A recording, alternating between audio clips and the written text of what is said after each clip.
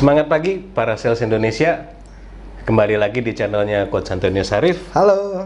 Mana channel ini akan banyak semuanya mengenai selling coach ya. Jadi Selling. semua yang problem-problemnya sales lengkap di sini. Marketing. Marketing. Kemudian juga untuk uh, leadership untuk manajer-manajer. Jadi yang bingung timnya kok penjualannya sekarang nurun ya segala macam jeblok gitu. Nah, ini kita di sini udah banyak nih bahas kalau lihat video-video sebelumnya udah banyak banget sebetulnya teknik-teknik yang udah dibagikan coach ya. Betul. Apalagi yang dengan sebelum saya juga dengan Iren juga semuanya udah banyak Sudah, banget itu ya. sudah. Nah, kebetulan untuk saat-saat seperti ini coach ya. Jadi kan memang eh, banyak sekali problem-problem gimana untuk meningkatkan penjualan ya. Tapi sebelumnya dulu ini coach, yang paling penting di awal nih ya, kita harus eh, kita sarannya juga peserta kalau bisa yang nonton di like dulu sama subscribe dulu ya channelnya.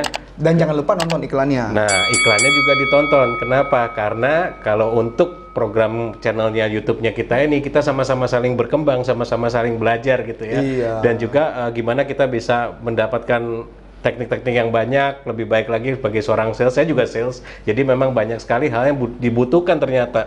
Jadi seorang sales tuh nggak semudah itu ternyata Iya. coach ya. Sebenarnya bukan hanya sekedar konten, tapi juga supaya ketika video yang Anda tonton itu tidak terlalu monoton dan lebih bagus Betul. kualitasnya. Karena Betul. per hari ini kita sudah memakai dua kamera Yes, dan betul, empat lighting. Ya. Dan sekali yang ngerjain pun juga sekarang udah empat. Yang mudah-mudahan juga video editingnya juga memuaskan kan gitu ya. Nah, ini kan biar kita semakin berkembang. Betul. Dan ini juga bukan sebenarnya bukan buat kita juga, coach ya. Sebenarnya mereka. tujuannya untuk kepuasan Ah, kalian ah, gitu, untuk kepuasan para para sales Indonesia nih. Gimana caranya kita bisa berjualan dengan lebih fun, dapat teknik yang lebih ini, lebih percaya dirinya juga lebih tinggi, coach ya, Setuju. saat ini ya. Setuju. Oke.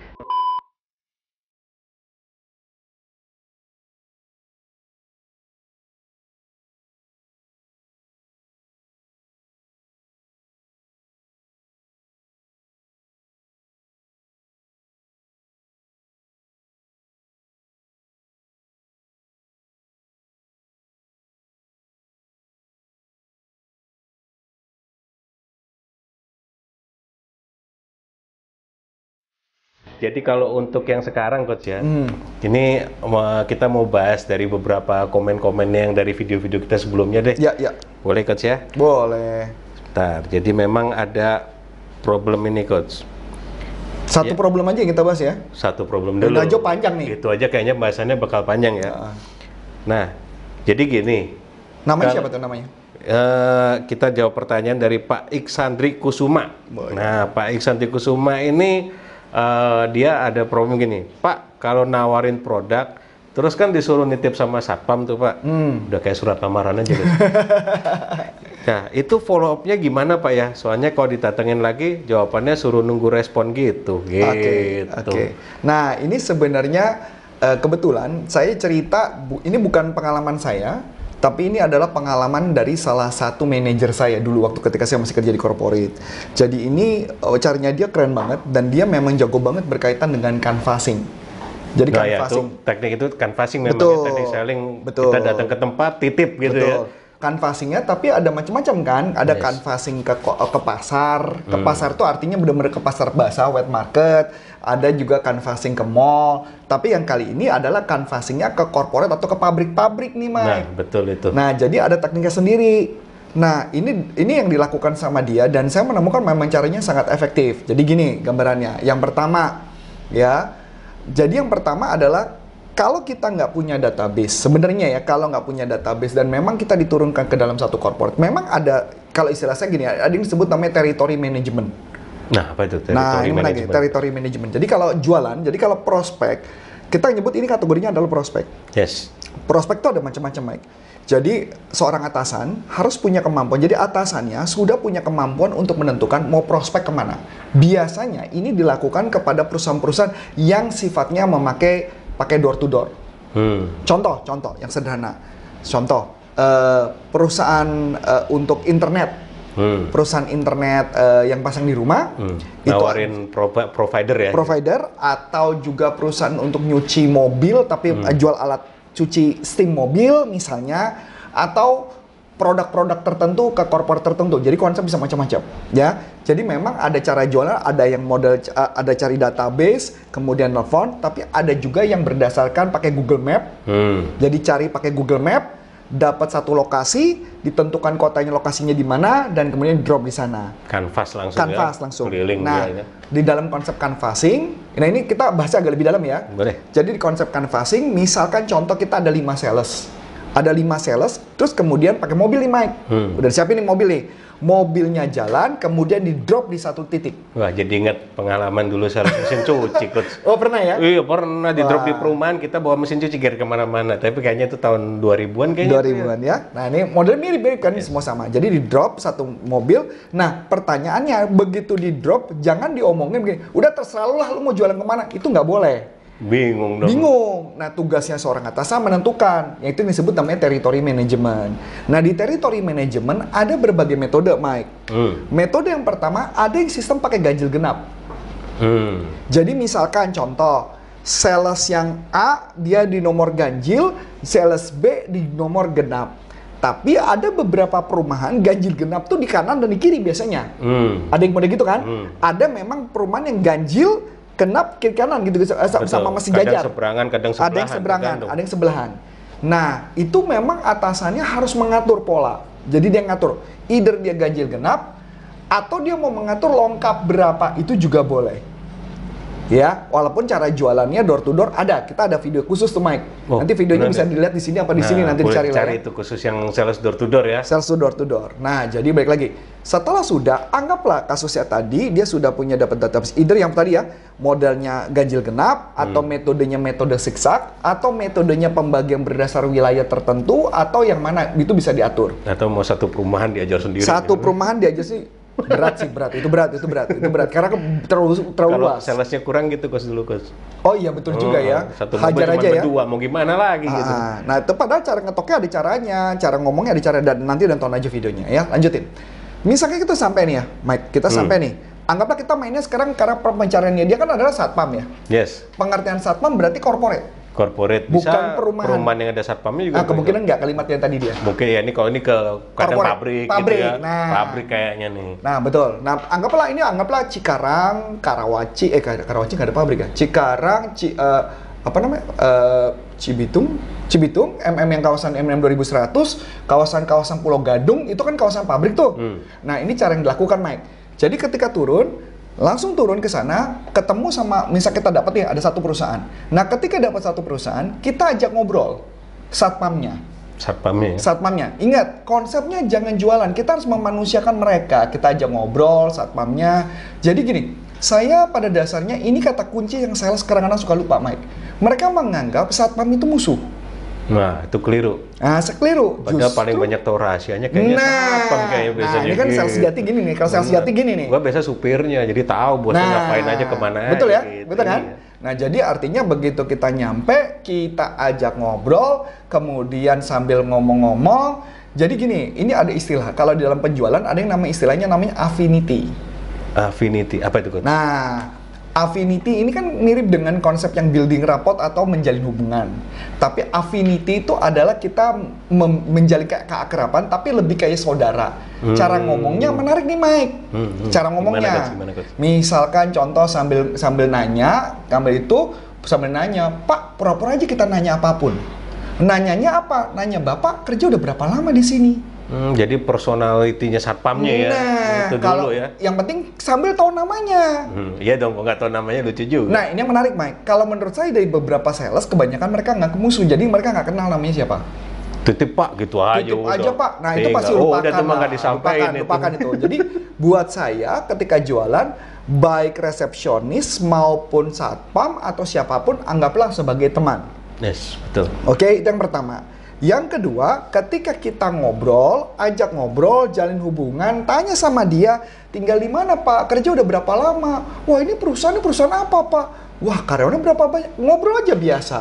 Nah, karena gini buat saya sederhananya, kalau kita satu kali datang ke sana mungkin masih ditolak, nggak masalah kita datang yang kedua kali baru jalin hubungan. Hmm.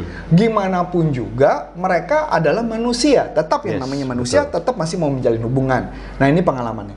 Nah kalau kita sudah dapat, kita tahu nama perusahaannya. Pertanyaan menarik buat saya. Kalau kita tahu nama perusahaannya, kita bisa tahu nggak nomor telepon mereka? Bisa dong. Betul dong? Nomor telepon kantor. Yes. Nah, kata paling penting gini kalimatnya. Ini yang menarik. Michael juga pasti ngalamin. Pak, boleh saya minta nomor teleponnya? Kemungkinan nggak dikasih. Hmm. Setuju nggak? Setuju. Kenapa, Mike? Karena kan dianggap konfidensial buat dia atau Betul. nggak mau buka rahasia perusahaan dulu di awal. Betul, betul. Bagaimana? Tapi beda dong kalau misalkan saya tanyanya, Pak, nomornya Pak, biar saya tulis. Nah itu beda itu. Beda Asumtif. banget. Asumtif langsung. Nah, ya. jadi ketika kita Pak, Pak, nomornya berapa Pak? Jadi langsung ambil ke pulpen, pura-pura aja nggak niat. Pasti orangnya ceplosan ngomong. Kalau bilang, boleh saya minta nomor? Oh, nggak boleh.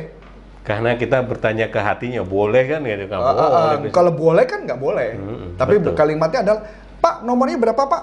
Biar nanti bisa saya kontak. Ah, iya Pak, terima kasih ya Pak. Sebut namanya. Kan ada namanya satpam. Nah, kalau Agus ya, Pak Agus makasih ya. Ya Pak, gitu. makasih Pak Gus ya. Senyum, jangan mencurigakan. Karena gini buat saya, ini pengalaman juga penting, Mike. Kalau saya pergi ke tempat sebuah makanan ke restoran tertentu, saya suka banget membaca nama orang di Name tag-nya. name tag-nya. Kenapa? Karena ketika saya baca namanya dia bilang makasih ya Mbak, sebut nama orangnya, dia akan jadi baik banget loh Mike. Yes, betul. Nah, kalau jadi baik apa yang terjadi? Wah, diistimewain Gus. Exactly itu yang terjadi So, berulang saya juga kali. sering dulu. Jadi kalau ke tempat kafe itu doang gua ke sana. Jadi kenal udah kayak, Exactly, kayak exactly. udah. Jadi tugas saya membaca papan namanya. Kalaupun saya nggak bisa kebaca papan namanya, saya eh sorry eh, namanya Mbak. Hmm. Apalagi Santai kalau aja. namanya susah gitu ya. Heeh. Waduh. Nah jadi konsepnya adalah nunjuk itu dan sebagainya. Nah lanjut ya. Hai teman-teman, kita ada channel baru nih, channelnya Coach Arif mengenai NLP. Untuk teman-teman yang penasaran NLP itu apa dan kegunaannya di kehidupan sehari-hari, jangan lupa di subscribe ya di channel NLP Leadership Indonesia. Thank you. Nah kalau misal kita sudah tahu nama perusahaannya, kita sudah tahu nomor teleponnya, tapi mungkin ka- kalau tadi ada pembacaran adalah dia nanya nomor WA, itu nggak mungkin dikasih. Ya iyalah. Itu nggak bakal dikasih. Masih personal banget itu. Personal banget. Kecuali udah udah deket banget saya nantinya. berani, saya berani taruhan. Kalaupun punya nomor teleponnya belum tentu berhasil ngomong sama dia. Yes, Karena ini masih kategori prospek. Betul, betul. Jadi yang berikutnya adalah, nah ini tugas berikutnya prospek. Ketika kita sudah dapat, kita harus ngerjakan PR. Hmm. PR apa, Mike? Pulang, cari tahu nama perusahaannya apa, bidangnya apa, dan cari tahu kenapa produkmu cocok untuk dia. Hmm. Ya kalau nggak cocok percuma juga ya. Percuma juga. Nggak bakal beli Itu juga. itu yang istilahnya kalau bahasa kita yang paling gampang adalah what's in it for me. Hmm. Gunanya untuk saya apa? Atau bahasanya apa ya? Ambak. Apa manfaatnya buat aku? Buat saya. Akunya apa? perusahaan sana ya. Buat perusahaan sana. Iya. Apa manfaat buat saya? Kalau buat sales udah pasti komisi. Komisi. gitu. Nah, jadi jangan bilang, "Pak, produk ini, Pak, ini adalah produk dengan kualitas bagus. So what gitu loh produk bagus. Saya nggak butuh gitu loh. Nah tugas Anda mencari tahu problem mereka apa dikonekkan ke produk kita. Nah saya kasih gambaran. Kenapa saya menceritakan ini? Nanti teman-teman cari satu video yang saya mau wawancarai yang namanya Rudi Lasut. Nanti saya nggak tahu video di sini apa di sini ya dengan Rudi Lasut. Di sana itu ngebahas tentang itu Mike. Hmm. Jadi dia nggak punya database, dia keliling ke pabrik-pabrik dan ternyata dapat dan berhasil closing, Mike. Jadi kata kuncinya adalah Anda harus berteman dengan mereka, cari tahu problem mereka apa, baru kita bisa. Yes. Nah, betul. misalkan contoh tadi kayak perusahaan advertising, advertisingnya billboard, oke? Berarti kita cari tahu apa? Bagian promosi. Hmm. Kalau bagian promosi kita tahu, kita sudah catat, nggak tahu nomor teleponnya, tinggal cari di cari di Google. Googling dulu. Zaman sekarang handphone, hello, gampang banget nih. Betul nggak? Betul banget. Tinggal cari, tinggal telepon, selamat pagi, kan gitu ya. Kita cuma tanya aja, yang bagian itu namanya siapa ya Pak? Kita tanyakan ya, Miss, "Eh, namanya siapa? Oh, namanya ibu ini. Oh, thank you Pak, makasih Pak. Sebut namanya dia. Hmm. Dan saran, kita harus menyebut nama satpam tersebut 2 sampai tiga kali. Hmm. Jadi kelihatan hubungan akrab. Kalau terlalu sering juga Jadi enak. jadi enak ya. Enak, Jadi ya. dua tiga kali paling dua tiga minimal kali. ya. Jadi, Misal Pak Agus, Eh misalnya udah dapet Pak Agus, oh Pak Agus eh, yang di sana bagian promosi namanya siapa ya Pak Agus? Oh nama ini, oh ya makasih Pak Agus ya. Oh makasih udah bantu banget Pak. Waduh thank you Pak, Bapak penyelamat saya hari ini. Kan gitu bisa. Kemudian telepon, halo, eh, dengan siapa Pak? Mau bicara dengan bagian promosi Pak? Siapa namanya misalnya? Pak Andi gitu. Halo Pak Andi, eh, bagian promosi betul. Iya Pak, saya kemarin waktu itu ada kirim proposal titip dari Pak Agus di depan satpam Pak. Iya Pak, Bap- udah dapat Pak, udah terima Pak.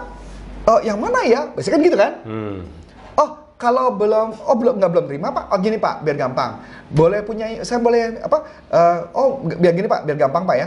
Emailnya apa pak? Biar saya kirim. Nah setelah sudah di email, kemudian gini pak. Jadi asumtif lagi coach ya tadi. Asumtif lagi. Jadi tembak langsung asumtif Langsung tembak lagi. lagi. Nah kemudian setelah Jadi itu, kalau tanya Pak boleh nggak minta email nggak bakal dikasih. dikasih. Jadi mending asumtif, asumtif, gitu coach ya memang asumtif, ya. Buat anda yang tadi bingung tentang asumtif, nonton aja ulang video ini. Kabar bagusnya YouTube gitu, jadi anda bisa nonton ya. ulang. Iya tinggal di repeat aja. di repeat aja nanti ada bisa lihat. Nah, setelah sudah ngomong asumtif tadi, kemudian langsung Anda ngomong, gini Pak, perusahaan kami banyak membantu perusahaan-perusahaan yang mempunyai problem seperti ini. Nah, yang kita tahu bahwa problemnya itu adalah problem yang memang bisa diselesaikan dengan produk ini. Hmm. Boleh saya ya langsung kita ngomong Pak, untuk bisa saya nggak tahu apakah produk ini cocok atau nggak buat bapak. Kalau produk ini cocok untuk bapak, ya eh, saya mau belajar tentang perusahaan bapak. Bisa hari Selasa atau Rabu saya ketemu. Langsung Wah, tembak. itu asumtif lagi tuh ya. Asumtif lagi. Nanti kalau dibilang, oh Selasa, oke Selasa. Kita langsung ngomong, jam 10 apa jam 2?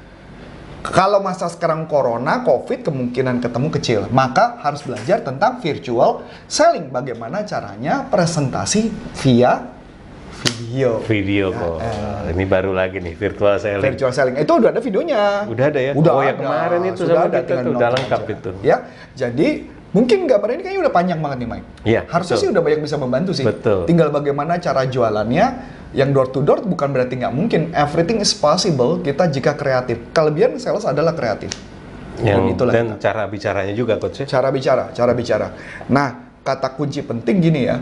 Banyakan para sales mentalnya sudah jatuh dulu di awal, maka dia tidak bisa berpikir. Kalau saya ketika jualan gagal, saya mundur ke belakang, saya cari tahu ini manusia. Saya tetap ketemu manusia kok. Betul, betul. Kecuali Anda ketemu robot gitu, robot Nah, Anda nggak bisa ngapa-ngapain. udah programnya ya. udah fix robot. Udah fix ID card, ID card, ya udah nggak bisa ngomong apa-apa itu. Udah kayak telepon operator tekan kosong mau nggak mau tekan kosong kita nggak ada Iya, nggak ada, nggak ada pilihan. negosiasi lagi. Nggak ada negosiasi. Tapi selama masih manusia kita masih bisa untuk berbicara. Jadi Yes. kata kunci penting itu. Gitu Mike. Yes. Oh Jadi, itu aja mungkin?